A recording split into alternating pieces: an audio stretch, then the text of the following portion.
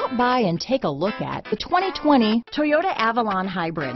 The Toyota Avalon Hybrid has a dynamic exterior look coupled with a premium interior.